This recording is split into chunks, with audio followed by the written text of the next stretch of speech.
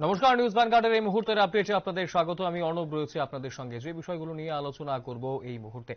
Radiographer নিয়োগের জন্য বেকাররা দু হাজার তেইশ সালের বিধানসভা নির্বাচনের আগে স্বাস্থ্য দপ্তরের অধিকর্তার কাছে ডেপুটেশন প্রদান করেছিল। সেই সময় তাদেরকে আশ্বাস দেওয়া হয়েছিল নিয়োগ, নিয়োগের এবং একটি নোটিফিকেশনের মাধ্যমে ওরা দেখেওছিল যে একশো ছটির উপর শূন্য পদ রয়েছে দপ্তরে। কিন্তু আজ পর্যন্ত নিয়োগ করা হয়নি। রেডিওগ্রাফারদের, গ্রাফাররা বেকার রয়েছে তিনশো পঞ্চাশ জনের উপর। আজ পুনরায় নিয়োগের দাবিতে ছাত্ররা অধিকর্তার নিকট ডেপুটেশন প্রদান করেছে। উল্লেখ্য দু সালের পর থেকে আর স্বাস্থ্য দপ্তরে রেডিওগ্রাফার নিয়োগ করা হয়নি কিন্তু স্বাস্থ্য দপ্তরের খামখেয়ালি পড়ায় বিভিন্ন হাসপাতাল এবং স্বাস্থ্য প্রতিষ্ঠানে রেডিওগ্রাফারের অভাবে বিভিন্ন পরিষেবা ব্যাহত হচ্ছে বলেও গুরুতর অভিযোগ কিন্তু করছেন প্রত্যেকে। গোটা বিষয়টাকে কেন্দ্র করে স্বাভাবিকভাবেই এই মুহূর্তে দাঁড়িয়ে অনেকটাই সমস্যায় রয়েছে রাজ্যের যারা বেকার রেডিওগ্রাফাররা রয়েছে এবং তার পাশাপাশি নিয়োগের দাবিতেই তারা কিন্তু আবারও সরব হয়েছেন। প্ল্যাকার্ড হাতে নিয়ে আবারও তারা উই ওয়ান্ট রিক্রুটমেন্ট এই প্ল্যাকার্ড হাতে নিয়ে তারা সরব হয়েছেন এবং স্বাস্থ্য দপ্তরের সামনে স্বাস্থ্য অধিকর্তার কাছে আবারও পুনরায় ডেপুটেশন প্রদান করেছেন। যে ডেপুটেশন তারা দু হাজার তেইশ সালের বিধানসভা নির্বাচনের আগেও একবার দিয়েছিলেন। বিষয়টাকে কেন্দ্র করে কি জানাচ্ছেন বেকার রেডিওগ্রাফাররা? শুনব।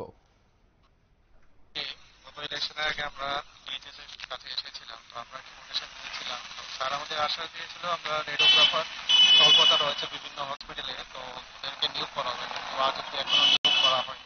তো আজকে আমরা আবার ওনার সাথে মিট করার সময় পেয়েছি এবং আমরা এসেছি। তো বিভিন্ন ক্ষেত্রে দেখা যাচ্ছে আমাদের ডিস্ট্রিক্ট হসপিটাল অনেকগুলো হসপিটাল হয়েছে। বিভিন্ন CT scan machine X-ray machine বসছে।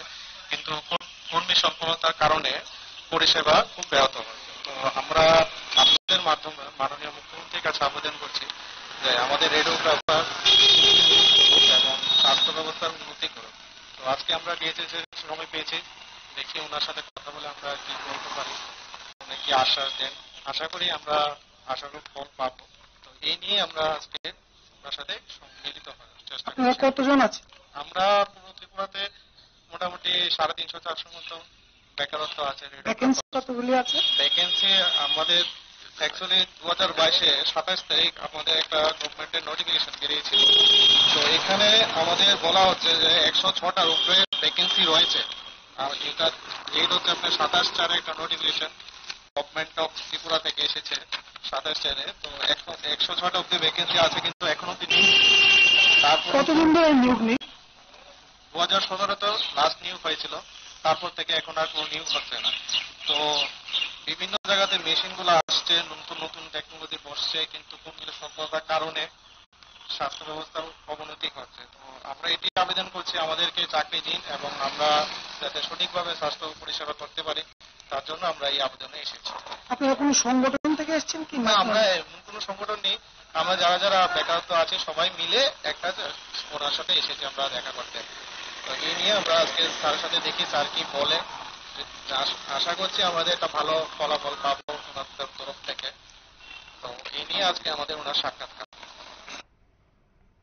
আপনারা শুনলেন রেডিওগ্রাফার বেকার যুবকরা কি বলছেন এবং আবারও কিন্তু তারা ডেপুটেশন প্রদান করেছেন। ডাইরেক্টরেট অফ হেলথ সার্ভিসেস এর যিনি অধিকর্তা রয়েছেন তার কাছে। বিগত দিনেও অর্থাৎ দু হাজার তেইশ বিধানসভা নির্বাচনের আগেও কিন্তু তারা ডেপুটেশন দিয়েছিলেন এবং তখন তাদেরকে আশ্বাস প্রদান করা হয়েছিল এবং একটি নোটিফিকেশনের মাধ্যমে তারা দেখতে পেয়েছিলেন যে সেই জায়গাতে একশো ছটি পদ শূন্য রয়েছে। কিন্তু তারপরেও নিয়োগ যেহেতু করা হয়নি, আবারও সরব হয়েছে রেডিওগ্রাফার জন্য যারা বেকার যুবক, যুবতীরা রয়েছেন। এবং বিভিন্ন জায়গাতে রেডিওগ্রাফারের অভাবে অনেক সমস্যা হচ্ছে, পরিষেবা সঠিকভাবে দেওয়া যাচ্ছে না, সেই বিষয়টাও কিন্তু তুলে ধরেছেন এই বেকার যুবক যুবতীরা। এখন দেখার বিষয়, স্বাস্থ্য দপ্তর কীভাবে নজর দেয় গোটা বিষয়টাতে?